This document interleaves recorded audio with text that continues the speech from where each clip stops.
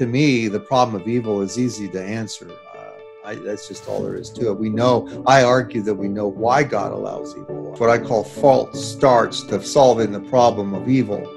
Uh, and one of the ways you can do it is to simply make, well, you can make God less good and solve the problem of evil, or you can make God less powerful and solve the problem of evil. Open theism is the view that God does not know the future decisions of free beings, free creatures. He doesn't know what they're going to do. Uh, I think that's false. And I'll say, you know why I'm not going to jab this pen into my eye? Because I'm too smart for that, and that would be a stupid thing to do. Uh, and and what we're learning here on planet Earth, and this is very important, is we're learning that sin is stupid. Eternity will dwarf our suffering here to insignificance.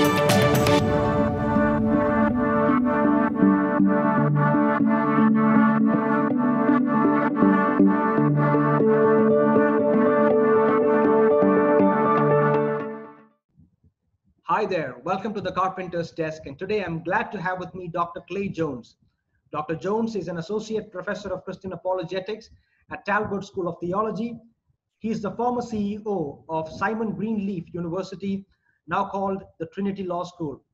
He serves as the chairman of the board of University Apologetics Ministry Ratio Christi and is a contributing writer to the Christian Research Journal.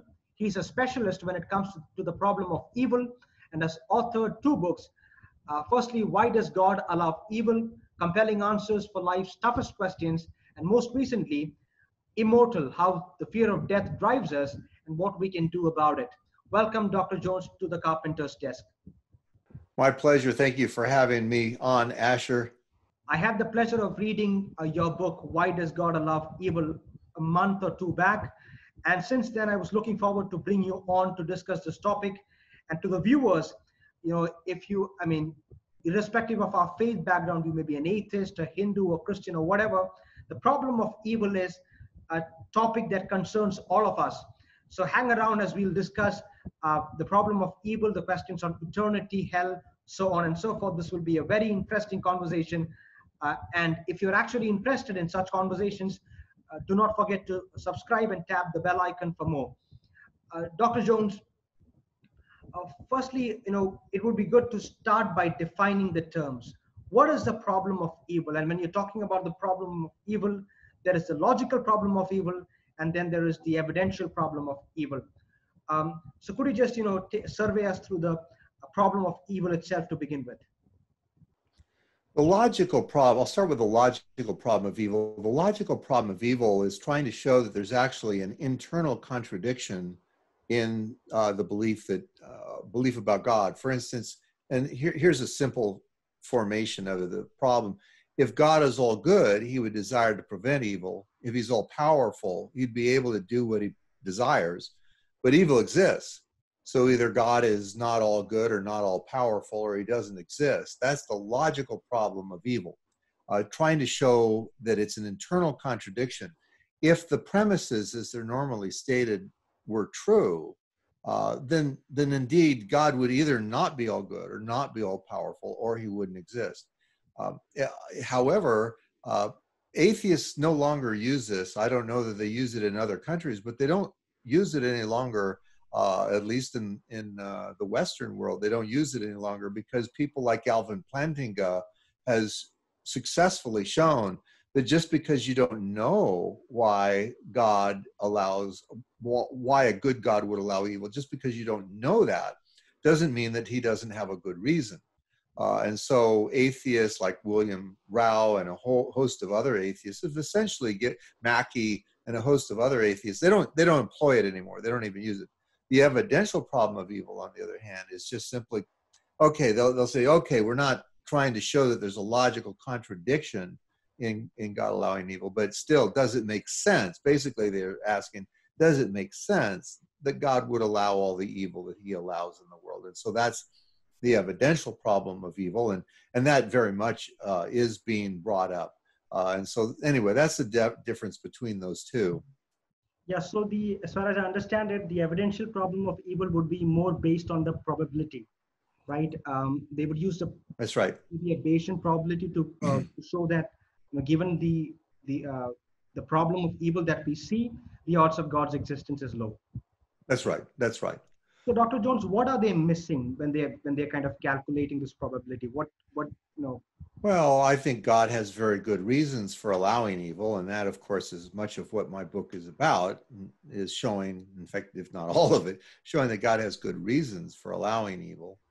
Uh, and one of those is that He wants to reveal to humankind the horror, the the tragedy, the travesty of rebellion against Him.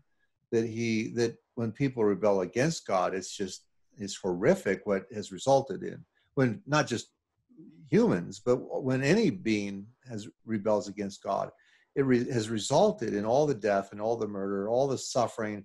in fact, just even all the COVID uh, 19s and everything is a result of humans' rebellion against God, one way or another. Uh, every every evil thing that happens is the result of of human rebellion or creaturely rebellion against God. And that's so that's the short answer. I would say it's the result of creaturely sin. Okay. Because we we believe that Satan and and uh, some of the angels rebelled against God before humans did, and so and of course they're not human, and so we're it's the result of creaturely sin, and so we define, by the way, evil as a misuse of the free will.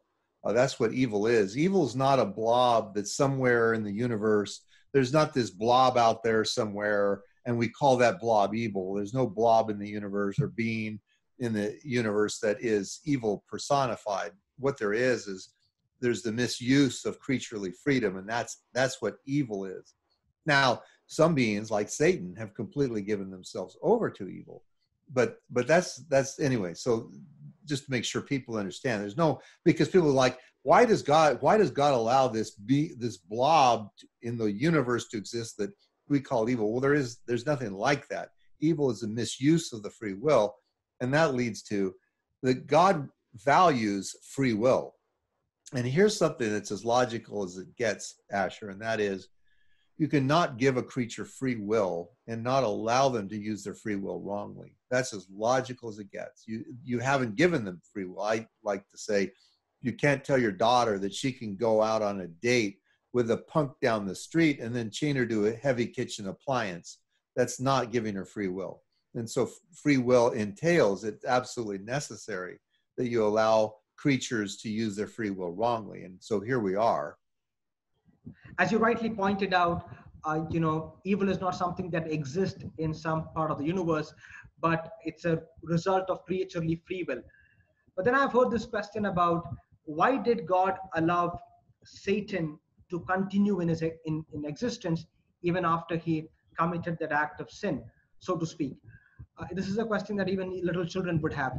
How would you answer you know how do we make sense of the existence of satan satan is just a creature like any other creature like you and me uh, it's just that he was a very powerful creature a very significant creature and he used his free will to rebel against god now people the question that people ask is and apparently, he was able to convince a number of angels to follow him. Uh, the scripture says in Revelation that the third of the stars were swept out of the sky.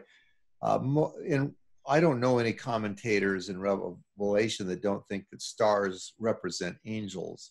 Uh, but anyway, it doesn't matter how many, but he was able to get some angels to go with him. He was able to convince some angels to go with him. Now, what is and apparently he was making arguments against God's goodness as far as uh, we can see. That God was not giving Satan all that Satan thought that he deserved. And so Satan rebelled. What was God to do once Satan rebelled? He could have destroyed him immediately. It's, it's no question there. He could have destroyed Satan and all of the angels immediately. But what would the lesson be to free creatures? The lesson to free creatures then would simply be uh, might makes right. Uh, you dis you rebel against me. I don't care what your arguments are, and I will destroy you. I will obliterate you. But I don't. But what if the Lord wants to not just destroy evil creatures, but He wants to do something to make the other beings, the other creatures, realize that that that Satan's wrong, uh, that evil's bad. Well, I think he does that as he's doing that now he's allowing creatures to say, basically, to say, you know, I don't think you're right, God. about this or that or the other thing. And he, I don't know that this is an expression that's familiar to you so much in, in India, but in the United States, we have an expression when kids get really want to do something really bad. Sometimes a, you, a parent might say, well, okay, go ahead and knock yourself out. Uh, you know, go ahead and just try it out and see how it works for you. And, and I think that that's really what the Lord is doing. He's saying, so you don't think my ways are just, you don't think my ways are right. Well, have at it then see what happens to you when you decide to go your own way and so that uh, so the lord couldn't just well he could have destroyed satan there's nothing stopping him but i think that it, he realized that again it was better to let satan in a sense continue to exist and then the lord to use satan and other creatures that followed him as an example of the significance and the horror of rebellion against god. Then the natural question arises uh, could there have been some other way of creating you know uh, beings or both human and angels in a way that they would not sin well that that's one of the biggest questions in this whole discussion. Was was there another way? Uh, and i talk about that at length in my book why does god allow evil? Was there another way? Did, is there something else he could have done? And i give a lot of different you know what people suggest is he could have done this or could have done that or could have done that.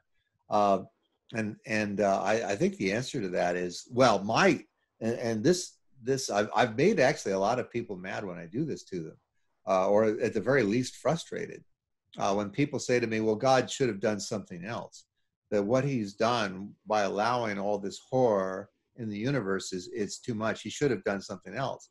And i reply to them like 100% of the time i say okay tell tell you what you cannot without removing free will because if you remove free will i can get rid of all evil too. That's not a problem.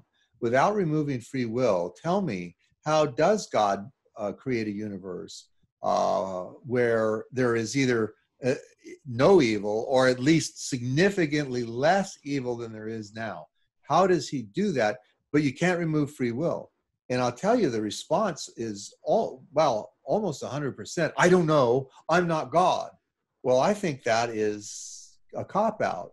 Uh, I think that's just simply ridiculous. I mean, if you can't think of a way, because see what they're saying is, I can't think of a way for that to happen.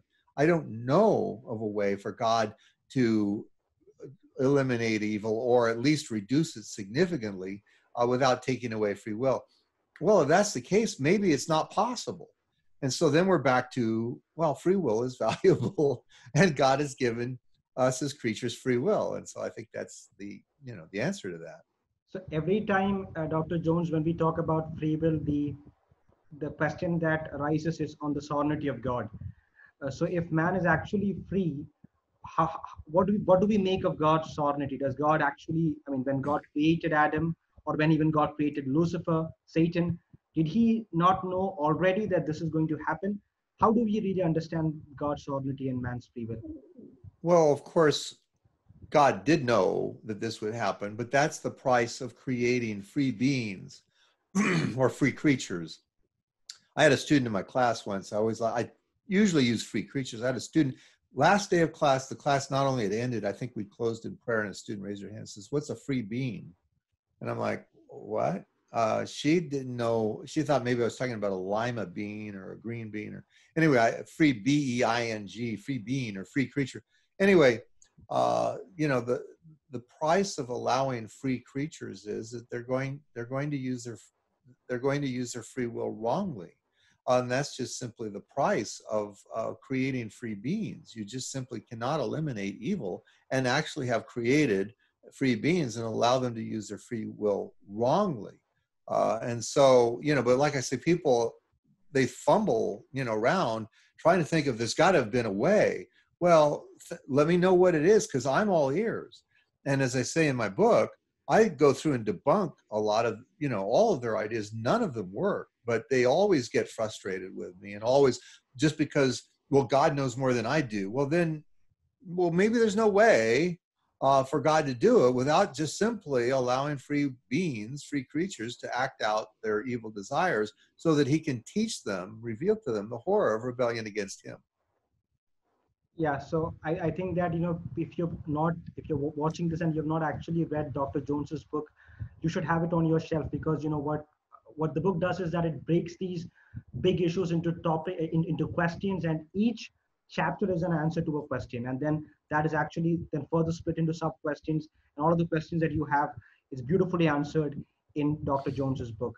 Uh, Dr. Jones, because we have talked about free will and God's sovereignty, I've also seen uh, some people offer some kind of views that that are called open open theism, uh, where you know they tend to say that well, you know, when God created Adam or God created man, God did not know what was going to come. How how would you respond to this um, open view of the future? Right. Well, uh, you know, in my in my book, I go through uh, false starts, what I call false starts to solving the problem of evil. Uh, and one of the ways you can do it is to simply make, well, you can make God less good and solve the problem of evil, or you can make God less powerful and solve the problem of evil. And open theism is a way of saying basically God isn't as powerful as Christians typically conceive of him. Uh, and and another and open theism is the view that God does not know the future decisions of free beings, free creatures. He doesn't know what they're going to do. Uh, I think that's false. I think there's a number of places in Scripture uh, that that suggest that He does know exactly what creatures are going to do, how creatures are going to act. Uh, and so I, I reject that view as just simply being unbiblical. I think if you read through the scripture carefully, you'll see that that well that the lord knows what people are going to do before they do it he's not he's not caught off guard he's not surprised and he knew that adam and uh, satan were going to fall but again uh,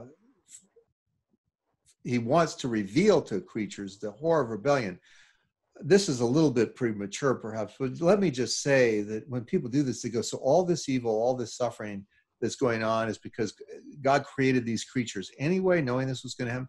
Remember something, and this is something that I cannot emphasize enough. In fact, I've just started a nonprofit ministry called Live for Eternity. Is that it's not just about this life. Christianity is about eternity, and we're going to live forever and ever and ever and ever. And and eternity will dwarf our suffering here to insignificance. And so anyway, I just I, I, just bring that up maybe a little bit early just to say we need to understand God is revealing to free creatures the horror of rebellion, but this is eternally valuable knowledge. Yeah, I think that uh, you're actually getting there. So something that you kind of repeat in your book is a statement that eternity will dwarf uh, our sufferings. Uh, you know, so people often, you know, when you look when you're living in the present, right? When you're losing a loved one or when you're going through a disaster, all of these things, we often, uh, you know, raise this question of. So I think that it's it's very less that in our actual lives we won't really intellectualize suffering or evil. You know, it's it's more about emotions and the way we feel about it. So how do how does the Christian view of, of evil, you know, with respect to eternity, factor into? How does you said how does the Christian view of evil and eternity factor in? Is that what you said? Yeah. I, okay. Uh, well, uh, Christians, unfortunately, I don't know how it is in that as much in the East, but I can tell you in the West, uh, very very few Christians in the West think much about eternity. Uh, most Christians that I know are this world focused uh, because they're this world focused, it's t- tremendously damaging to their Christian experience. Uh, and frankly, it, it leads to a lot of sin and, and, and a lot of questions about God. Because if, if this law, if Christianity is primarily about this life, if it's primarily about this life, then uh, I don't know how you answer the problem of evil either. I don't know why God would allow evil if Christianity is primarily about this life. But we don't believe that. We as Christians don't believe that uh, when somebody dies, you go, well, death is such a horrible thing. It is Christianity one, not just 101, it's Christianity 100. It's even more basic than that.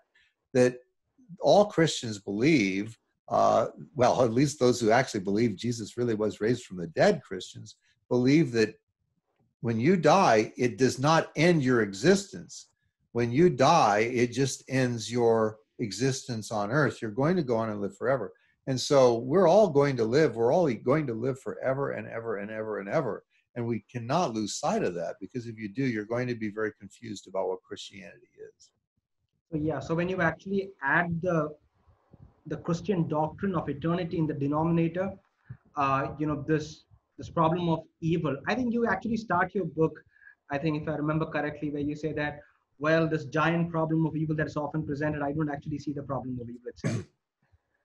Well, yeah, as when I was a young pastor uh, in in the nineteen early nineteen eighties, uh, I began to just began to realize the glory that awaits us in heaven forever, and that knowledge was so incredibly and utterly significant to me that the idea that we're you know that we're going to be glorified, and so I be, that became the major focus of my study.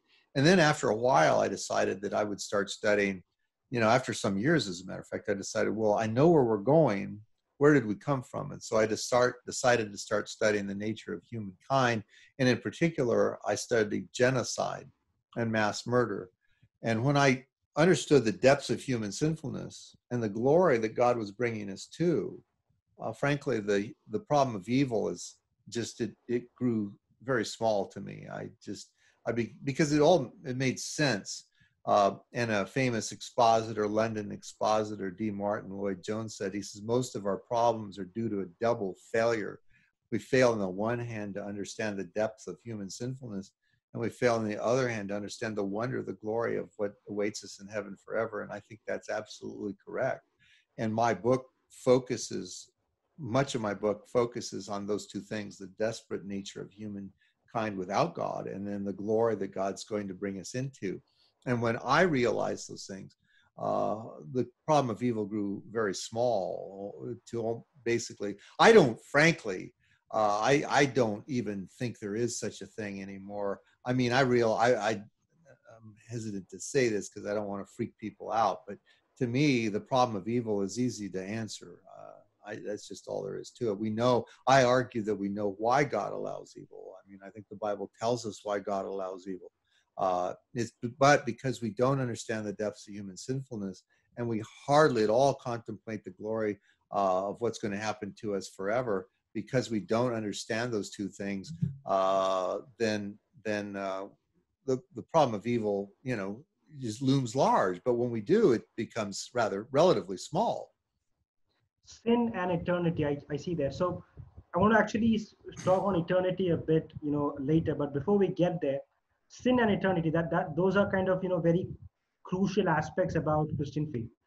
So dr jones how does the christian understanding and the response to the problem of evil differ from other religious worldviews particularly you know the eastern karmic religions speak hinduism and all of these faith systems? Yeah i you know it's well it's funny. My next book uh as a matter of fact and here it is immortal how the fear of death drives us and what we can do about it uh, actually deals a lot with Buddhism and Hinduism uh, because it's this, I didn't know this until I wrote the book actually, but a tremendous amount of Western scholars have adopted uh, Hinduism, Buddhism, as you know, Buddhism is just an offshoot of Hinduism, but they've adopted this into their philosophies.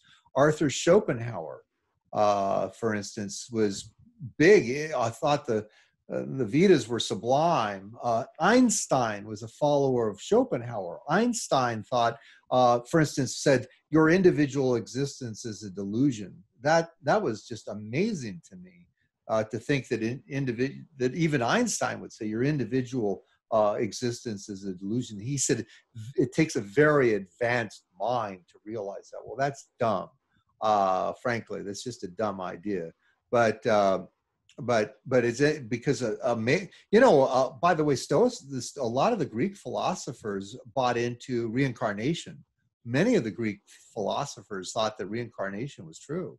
Uh, and so uh, but but this anyway the difference the big difference is of course is that we you know I, have in studying this and, and i've spent a lot of time now studying and i've talked to some uh, i talked to a buddhist professor and so on but it's interesting to me because really what is being offered out there by Hinduism and Buddhism is what? Uh, the you you finally your existence uh, ceases. You're absorbed into whatever you want to call it, uh, but your individual consciousness ceases. Uh, and, and I think that's just well, I think that's kind of sad. And what you're looking for, of course, is the end of re-death and rebirth. You know, and and I, Jeannie and I, when we were we we had a chance to, I had a chance to speak in Singapore, and so we went to Singapore, and there was a Buddhist temple, uh, huge four-story Buddhist temple in Singapore, and on the third floor there was this like, well, every every floor it was basically a shrine, but there there was this Buddhist monk who was sitting in the corner, and he's he's in the lotus position, and he's he's he's just looking at the corner and I thought, well, man, eh, because by the way, the Buddhists that I've read say you cannot, there's no way you're going to escape the cycle of rebirth and redeath without being a monk. You, you'll never be able to free yourself from desire enough. And I'm sitting there looking at this guy who's who's who's facing the corner of this building and thinking, man, yeah, I mean, what kind of existence is that? And why is he doing that? Because he wants to escape the cycle of rebirth and redeath.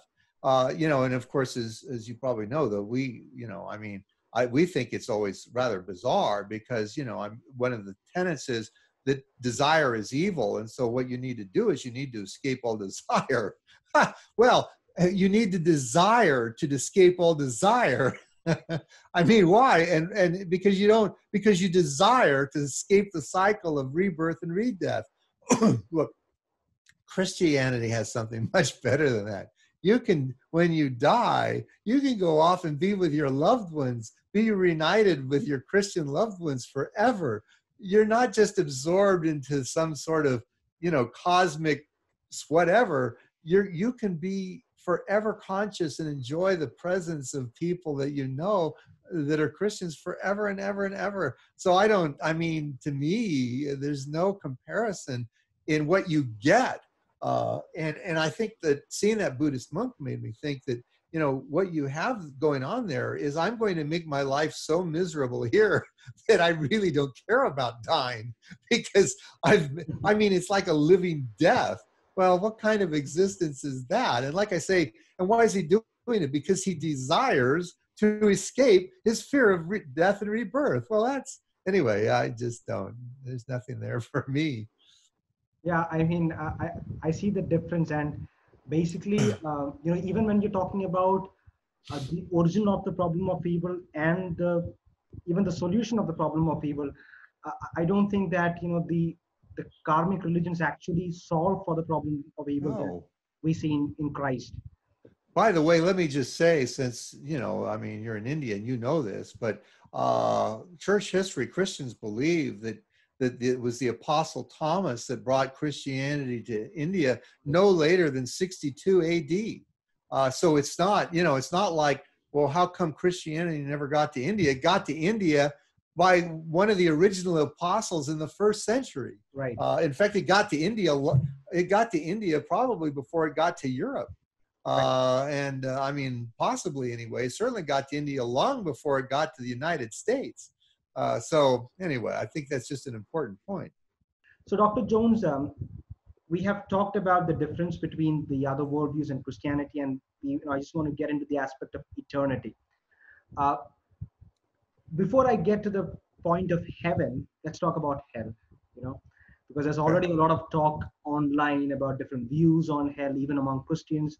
And while atheist skeptics, they feel that the notion of hell itself is not justified what is the biblical notion of hell?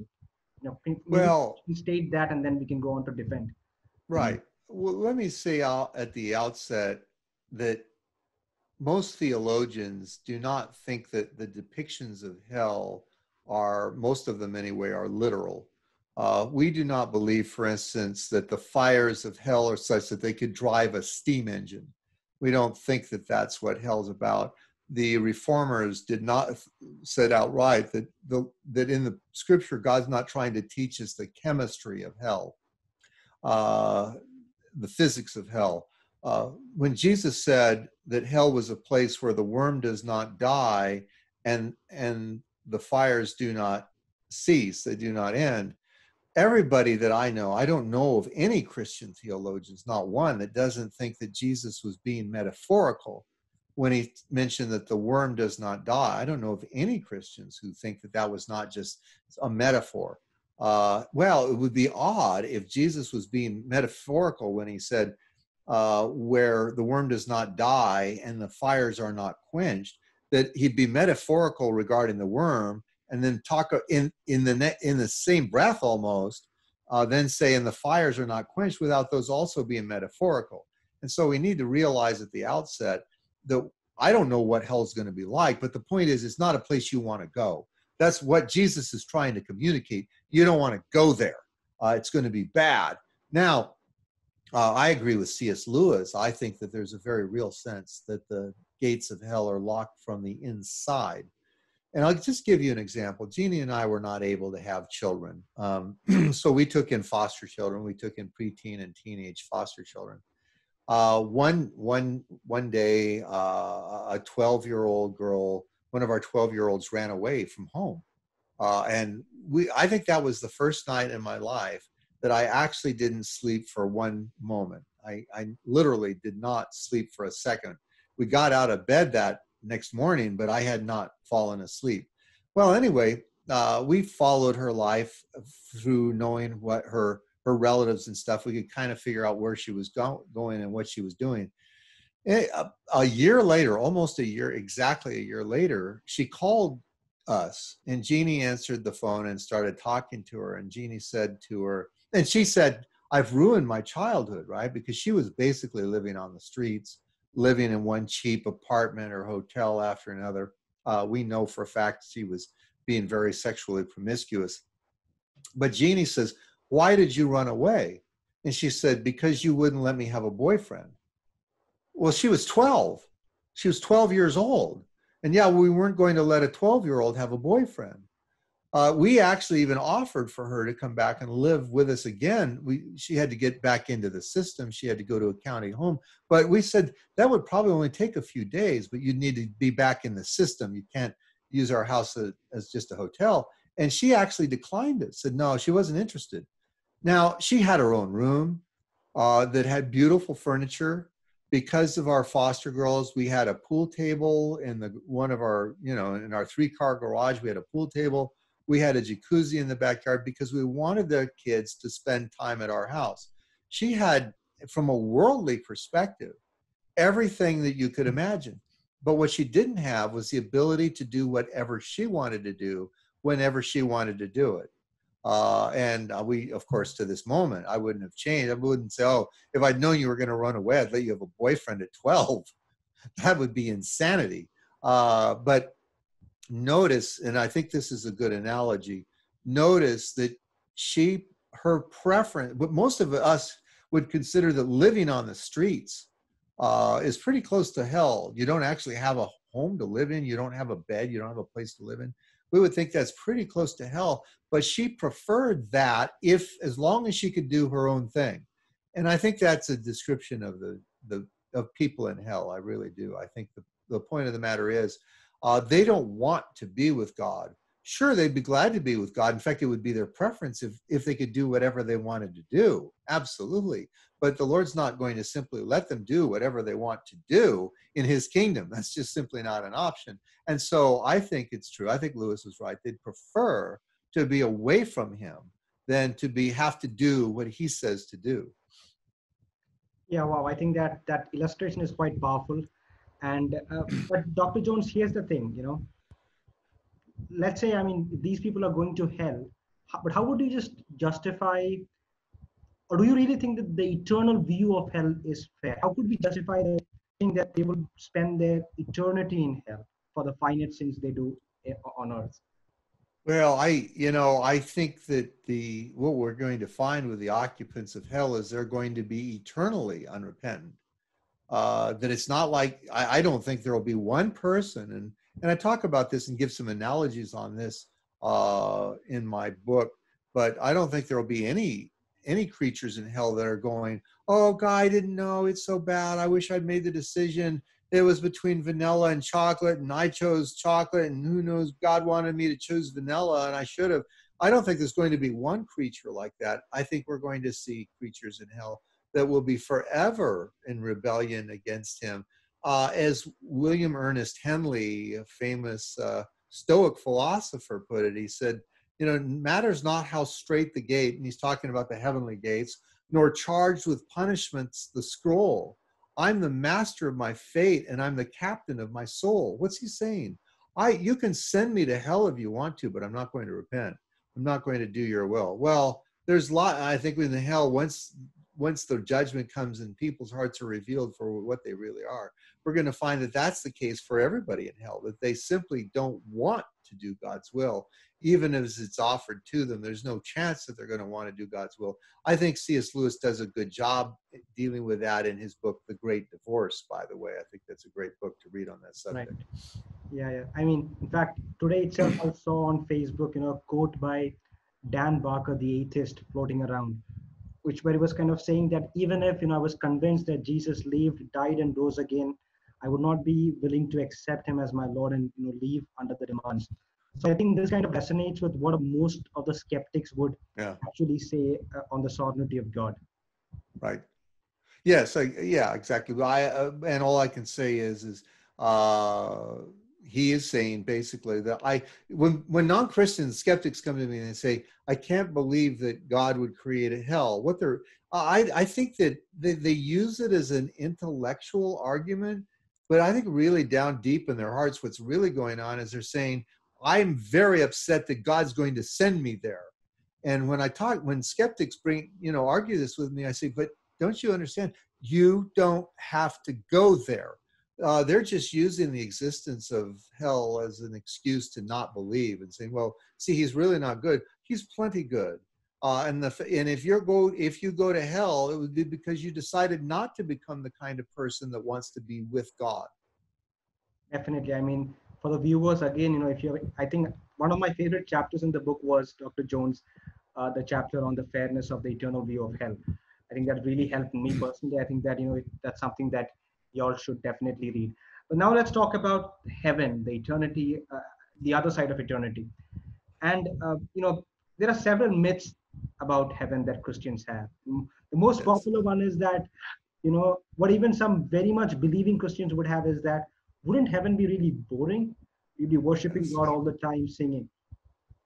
Well, right. I, I, uh, as you said, I give a bunch of myths.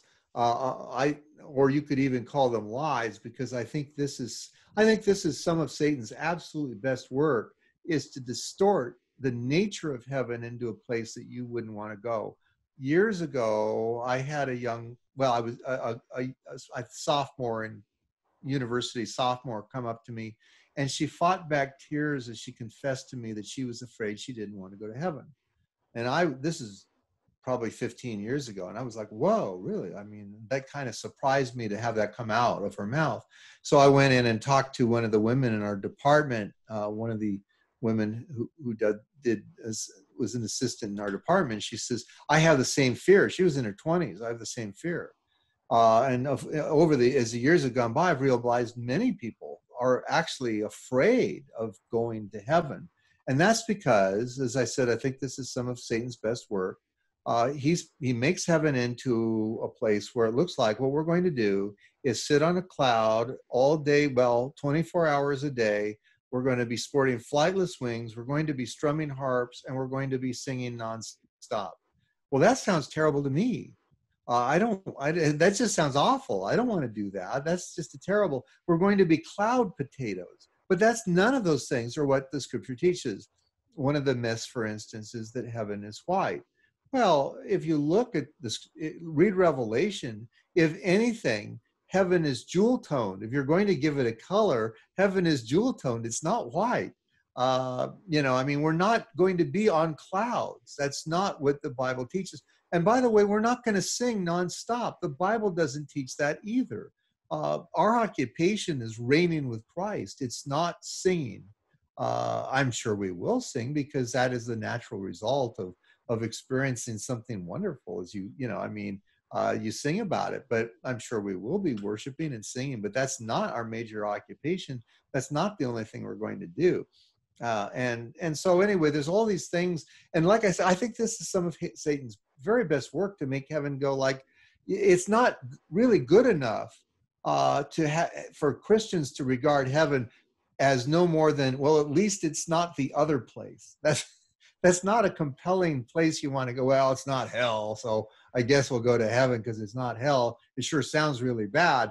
Uh, and and so you know all of these things are just simply not true. In fact, I call it. We have a had a show here in America called Extreme Makeover, um, and I call it. I call what we have here in uh, with this. I call it Extreme Makeover Metaphysical Edition, uh, where Satan has made heaven look like a place you wouldn't want to go, but hell is a place of eternal merriment.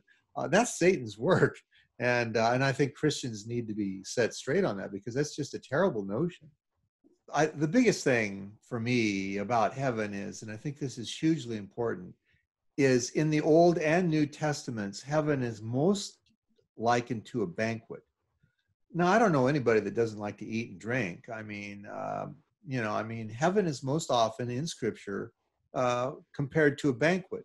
Now, that's not all we're going to be doing. We're not going to just be banqueting, but certainly that's one of the things that we're going to be doing in heaven because um, the scripture, well, like I say, it most often compares it to a banquet. We're invited to the marriage supper of the Lamb, right? We're invited to a banquet. By the way, uh, marriage ceremonies, weddings in in first century Israel, uh, the the, the uh, festivities lasted for a full seven days.